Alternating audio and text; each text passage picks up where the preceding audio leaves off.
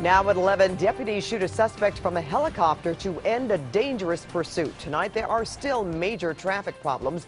And only on 2, we're hearing from parents whose children were caught in the middle of the violent end.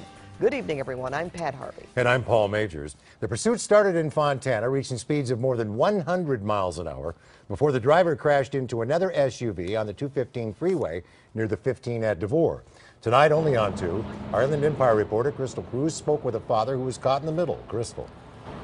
Hi, Paul. This father, he was driving down the freeway behind me with his kids in the car when he says he came car to car with the suspect before the suspect crashed into this car right behind me.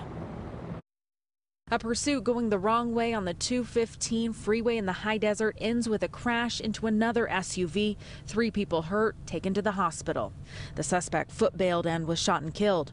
We also learned a deputy riding in a chopper did something that's rarely done, shot at the suspect from the sky.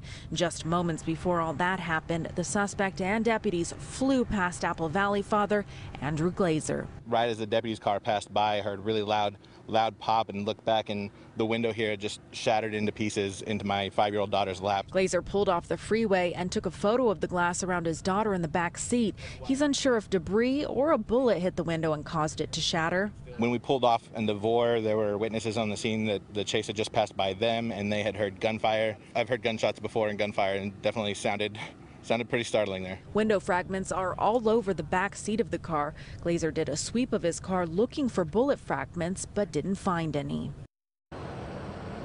And Glazer's daughter is okay, unlike the three people that were involved in the crash with the suspect there at the hospital. And tonight, the freeway still closed down. Right here, we've seen it lighten up a little bit. It was packed with traffic just 20 minutes ago, and right now you can see there's barely any cars. It looks like there's a few cars coming down the lane, but still a lot of frustration from drivers. We've heard people yelling out they're trying to get to Vegas, and it's just not happening as fast as they would like it to. I'll send it back to you, Pat and Paul, in the studio.